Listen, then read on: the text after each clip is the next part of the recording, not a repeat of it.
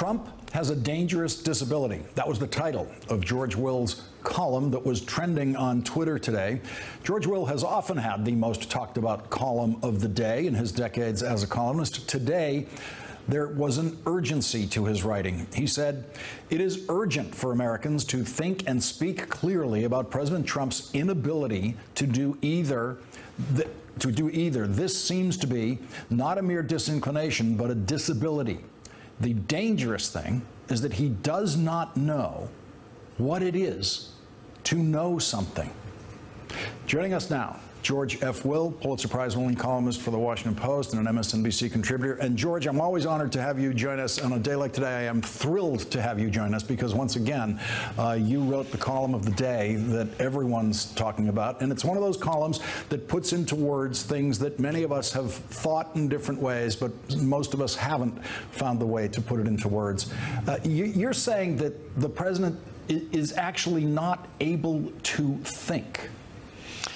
Well, the problem, Lawrence, isn't just that his sentences don't parse and that his pronouns float around in search of antecedents. It's not just that he's syntactically challenged. Dwight Eisenhower occasionally was, although I think his opacity was sometimes tactical.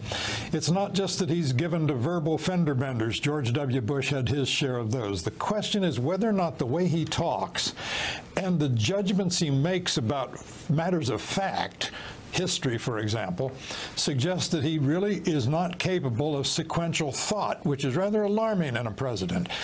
You add that to the fact that his, his demonstrated lack of knowledge of American history, his recent talk about Andrew Jackson being angry about a civil war that occurred 16 years after he died, uh, suggests that, that uh, again, he's a, a, basic unfamiliarity not just with our past, but with our present. Remember during the Republican candidates debates, he said once in defending the conservatism of his sister, who's a federal judge, he said that his sister had signed some of the same bills that Justice Alito had signed on the Supreme Court. Now, that suggests that he would flunk a sixth grade civics exam because he suggests that federal judges and Supreme Court justices sign bills. This is rather alarming. I mean, if next week he comes out and says Grover Cleveland was a stern critic of the New Deal. On the one hand, we'll be all pleased and surprised to know that he knows there was a President Grover Cleveland, but there comes a point at which this goes manages to be ludicrous without being at all funny. When you have a president who doesn't understand the basic facts of American history, the basic realities of American governance, and finds it impossible to put into simple declarative sentences what he's talking about. I want to listen to a professional diagnosis here. Uh, this is from Lance Dodes, a former uh, professor at Harvard Medical School, professor of psychiatry.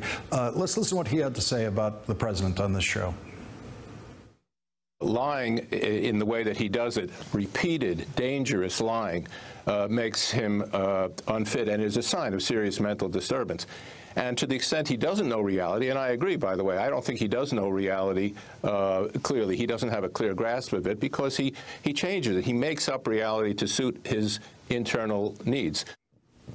George, your column uh, scrupulously avoided any diagnosis that you're not medically qualified to make. Uh, but were you tempted? Did you feel? I feel your column goes right up to the border of psychiatry. Well, I stopped there purposely. 1st mm -hmm. place, I'm not qualified. Second, I remember the gross abuse of psychiatry when my man Barry Goldwater, for mm -hmm. whom I cast my first presidential vote, was running for president in 1964, and a whole slew of psychiatrists diagnosed him from a distance as having all kinds of authoritarian and other disagreeable behaviors and tendencies. I didn't want to engage in that. I'm just going by the evidence that the president continues to put in front of us in, in torrential amounts. And your recommendation uh, at the close of your column is, quote, uh, for the public to quarantine this presidency. How can the public do that? Well, the public has to communicate to their elected representatives that the elected representatives have more to fear from the public, from their constituents, than they do from Mr. Trump.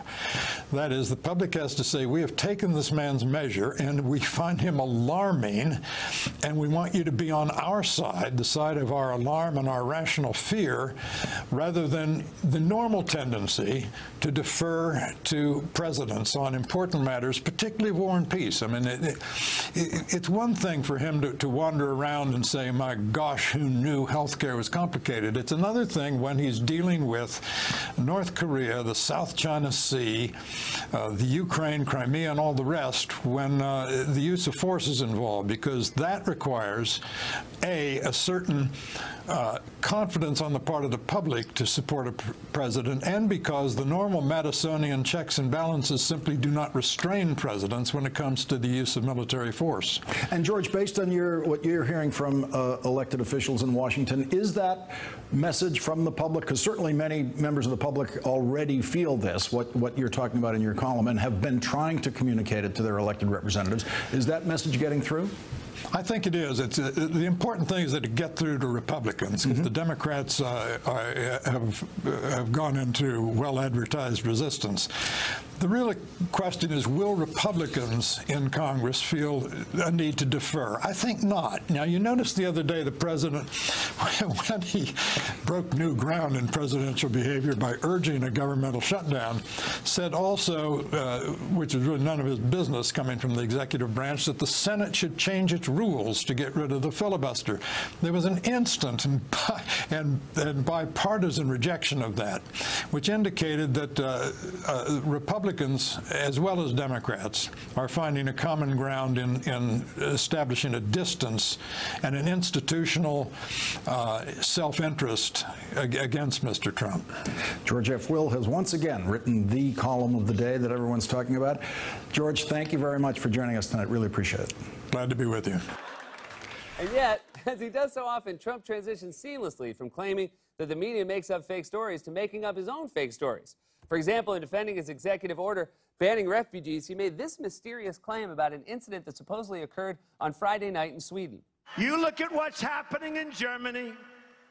You look at what's happening last night in Sweden. Sweden. Who would believe this? Sweden. Who would believe this? The answer is no one, because as fact checkers pointed out, no incident occurred in Sweden on Friday night.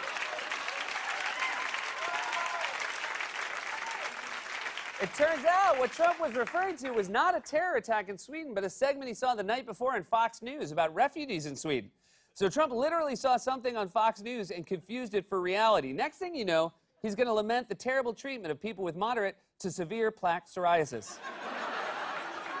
also, it should be noted the Swedish police officers interviewed for that documentary said their answers were misleadingly edited and they did not stand behind it. In fact, Trump's mysterious comments about Sweden have also apparently baffled the Swedish government, which requested a clarification and left the Swedish people very confused. Now, those words about Sweden sparked a quick backlash from officials in that country who wanted to know what he was talking about. This was front page news here on Monday. It's also been the subject of a significant amount of ridicule online and just people you talk to here making jokes. You know, what was Donald Trump referring to? That's how bad things have gotten under Trump. We're getting roasted by Swedes now. the Swedish chef is like, dude, even I don't understand a word you're saying.